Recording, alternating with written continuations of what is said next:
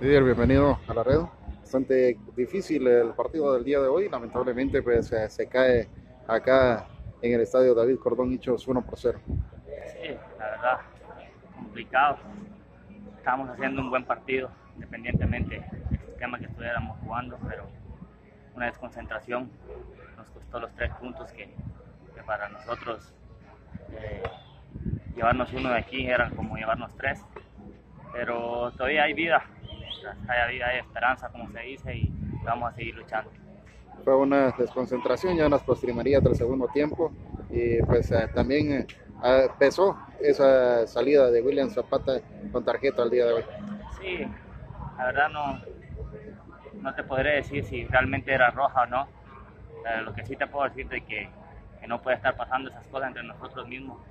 Eh, independientemente eh, la ausencia de él ahí adentro del campo se notó, estábamos todos bien ordenados, bien escalonados. Ya que te quiten un hombre menos ya en las últimas instancias, muy ordenado que, que estuvieras, pero psicológicamente sabes de que nosotros mismos nos estamos matando y eso tiene mucho que ver.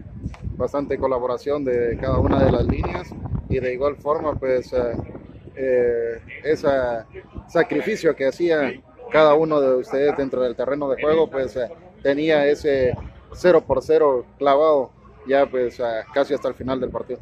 Sí, como te digo, cada quien, cada compañero está mentalizado lo que tiene que hacer. Sabemos de que si aportamos cada uno lo que sabemos, eh, en conjunto eh, podemos llegar a lograr las cosas que nosotros queremos. Hoy no, no se nos dio, el esfuerzo lo hicimos, pero como te lo vuelvo a decir, hay todavía eh, muchas jornadas que jugar y así como jugamos hoy creo que, que las vamos a jugar todas a muerte y, y, esperamos en Dios de que los resultados se nos vengan a nosotros. Complicado todavía, pues eh, se encuentra cerca de la zona del descenso Didier y pues eh, no queda más que trabajar eh, arduamente y pues pensar en poder sacar buenos resultados en la próxima jornada que será también fuera de casa.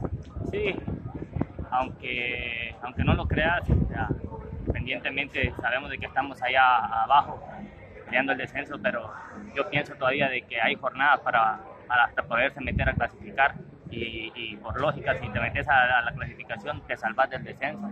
Es lo que yo tengo previsto y, y lo quiero lograr y es lo que le transmito a, a mis compañeros de que, que, no nos demos por vencidos, que la, hay que creerla, que tenemos un plantel eh, con mucha experiencia y jóvenes que quieren trascender y, y, eso creo que nos va a ayudar para lograr los objetivos. Gracias, Gracias a vos.